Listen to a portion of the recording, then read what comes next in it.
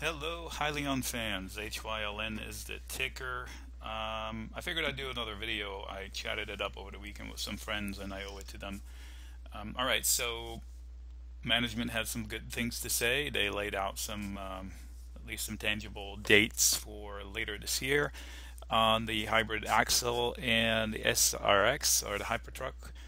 Uh, so looks like they're comfortable with that. Earlier it was a little green and now it's a little red and that's part of the point today. So let's start there. Regardless of what we think of any stock um, it has to trade within the prism of the whole market. So let's go there first. So S&P I know feels like it's painful right? Real pain huge dip or is it? I'm going to share you share with you a chart. Where's the dip right? It's one red tick in the long scheme of things um, a 10% correction would put it here. This is literally where reverting to the mean. A 20% correction puts it here, and the bulls will still be in charge. So how will all the stocks do if this is going on? I'm not calling for a 20% correction. I'm just saying right now the CPI is so hot that it may tie the Fed's hands. And three things drive the market, one of which is the Fed because it is responsible for money flowing into the economy. And right now they're pouring it on 1. almost 5 1.5 trillion dollars a year. They will have to taper that. You've heard that word taper tantrum? Um, so listen to their yak. I don't like the Fed. I don't like Wall Street altogether. And what comes out of their, them is just garbage. So I do my own homework and I use the charts. So I don't listen to the news. Zero Wall Street BS News, zero CNBC News, all own homework. Um, you like the company, you do your homework on it, you study the charts. If you don't know how to read charts, ask for help because the charts is where it's at because it's machines trading and I'll show you. So within this S&P, there's risk on all stocks, including Hyliion. I'm going to go next to AMD to get to Hyliion. This is a stock I personally prefer. I, I, I like a lot. I was long it. I booked my profits into this rally. I was long it up here. I booked my profits. I shorted it here via a debit put spread. Nice mild way of shorting it. I shared it with members, so I'm on record with that. And then I said, I'm watching. This alert is uh-oh. And this alert is get long big.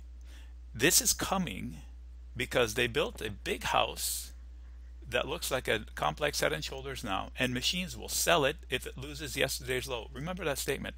Yesterday today is 512 yesterday is uh, Tuesday. And the markets had a tizzy right? It bounced hard. If we lose that hard bounce it's a trigger lower. The machines will sell it hard. Why? They built this whole huge house on top of a stick foundation with two holes in it. That's not normal. Normally if I see a stock rally consolidate a long period of time and break out from this consolidation, it's going to high heaven. But you can't do that, not likely, while leaving this kind of schmat, I don't want to cuss, uh, a crappy foundation below. So on to Hyliion. Okay, so let's talk facts, not opinion. Uh, um, this is a descending channel, correct? At least from here. You can see higher lows, higher highs um, lower lows, lower highs, I wish, right? So it's a descending channel. How do you establish a bottom? It shouldn't be a V bottom like boing. It is a process. And it starts like they did here. So uh, stuck in a descending channel, step one, stop making lows. And go sideways. Build a base and then start making higher lows and higher highs. While you build the base, what happens is you start meeting the descending, descending channel. So in this case, uh, that's an important note. If you can pause it and read it, it tells you why the market is having a dizzy today and where the risk lies going forward. It's fundamental, nothing to do with charts. Um, okay, so you make a low, uh, you stop making lower lows, right?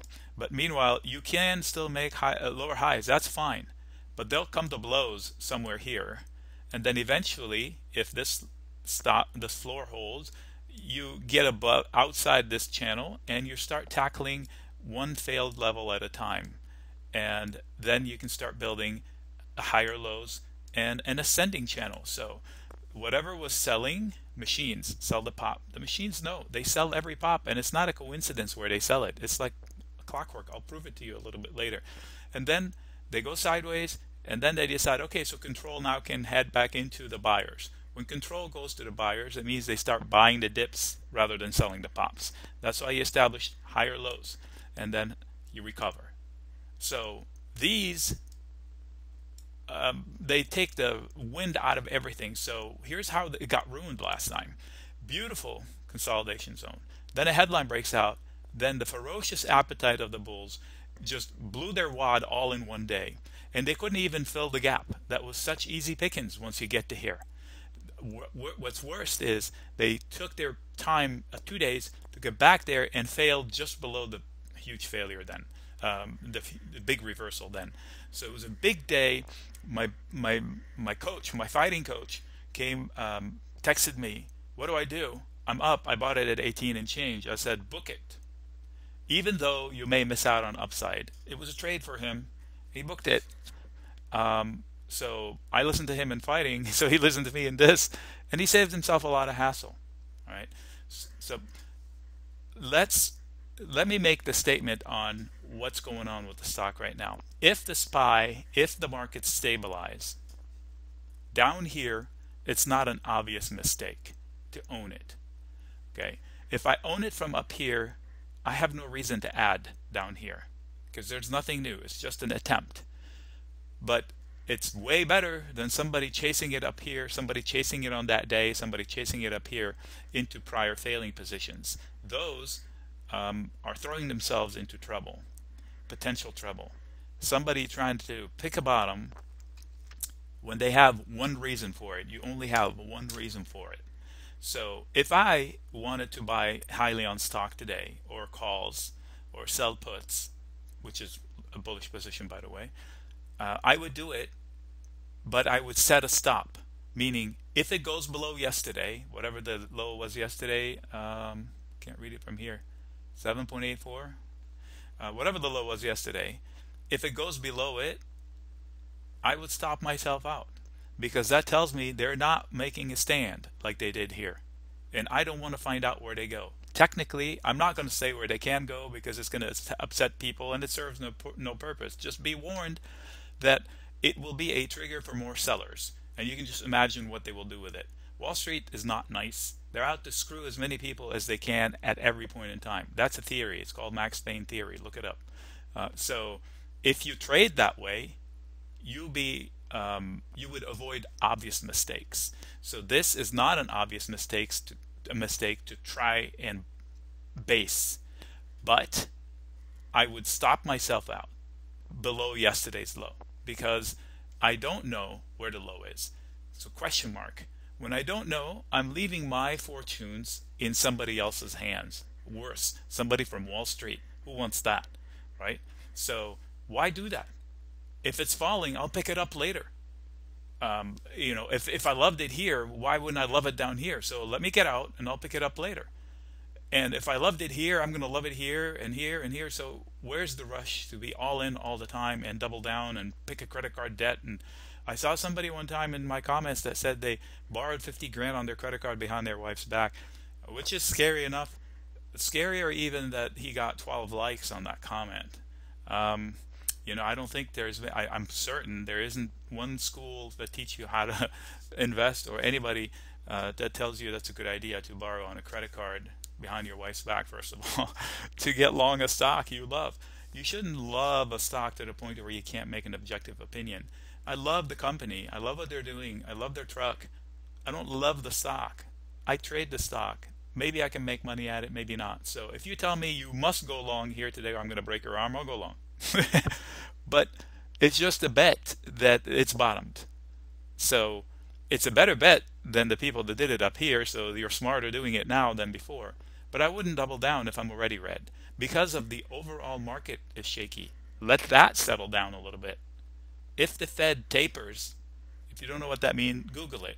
If they stop buying every month, they're spending $120 billion to put money into the economy. If they stop that or lower it, the market will have a freak out moment. Look it up. It's called the taper tantrum. It happened to Ben Bernanke before. It happened to Fed Powell in 2018 when we crashed into the uh, December. And then what changed? That was the moment of change when he said, "Oh, I was kidding. I'm not going to raise rates anymore. Uh, I'm going to bring back uh, buying, like that 120 billion. I'm going to cut rates down to zero." And he did all of that. Well, now today we got the CPI that's the highest in like 50 years or 40 years.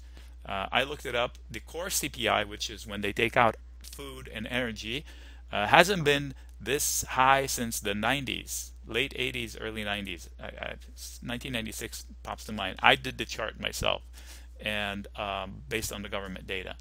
So there's huge inflation. It's their job to keep inflation low.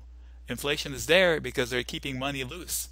So they can't keep money loose because their job is to keep inflation low. So they said they would ignore it, but I don't think uh, I think they're lying. This is what you know. Listen to their. I think Clarida speaks today. A couple more speak later. Listen to the next Powell statement. It might not be as happy for markets as we uh, we might hear, and it could be huge happy. I don't know. So this is the where okay I have a certain level of conviction for the stock but I have to incorporate something from the overall economy as well. All right Nick signing out. Hopefully this didn't offend anybody. Shouldn't have I, I was pretty positive about it. Good luck to you.